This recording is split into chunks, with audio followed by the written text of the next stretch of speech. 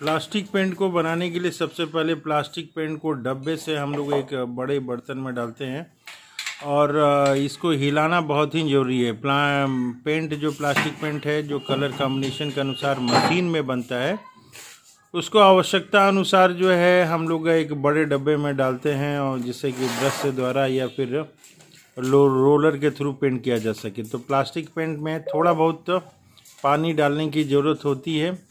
कि उसकी मोटाई कितनी है? पेंट की मोटाई कैसी है? ब्रश कैसे चल रही है? रोलर कैसे चल रही है? उसके अनुसार जो है, एक किलो पेंट में जो है, करीब करीब जो है 250 ग्राम पानी डाला जाता है। एक बड़े कप में पानी जितना रहता है, उतना डाला जाता है। या एक छोटे गिलास में जितना पानी हटेगा, ये डाला जाता है।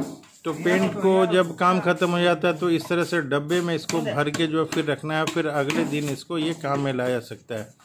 तो पेंट जब डब्बे से खोलते हैं और बड़े डब्बे में, जैसे ऐसे डब्बे में एक डालते हैं हम लोग, और इसमें पानी डालने की कोशिश करते हैं। पानी डाल के जो है, और काम जैसे ही ख़त्म होता है तो ब्रश को ढोलना, धोना बहुत ज़रूरी है। अगर ब्रश को नहीं धोया गया तो वो ब्रश जो है ख़राब हो जाएगा, बर्बाद हो जाएगा।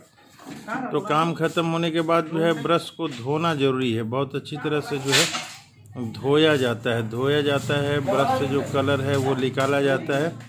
तो इस तरह से लो, रोलर की लाइफ बढ़ती है और जो पेंट वगैरह है वो बर्बाद होने से बच जाता है।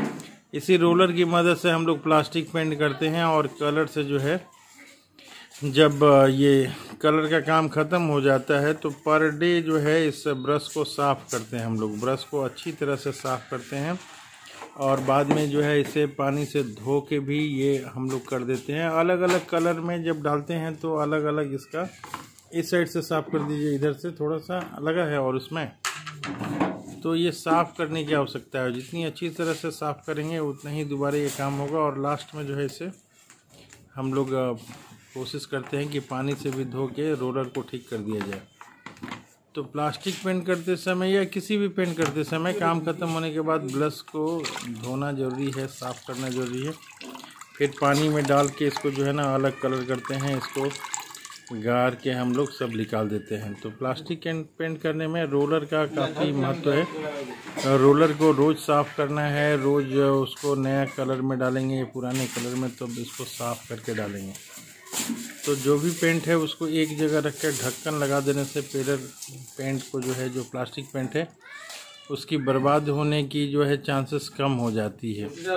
तो दूसरे दिन ये किया जाता है तो जितने भी बर्तन में पेंट है, उसको एक जगह डाल के उसके फिर ढक्कन बंद करने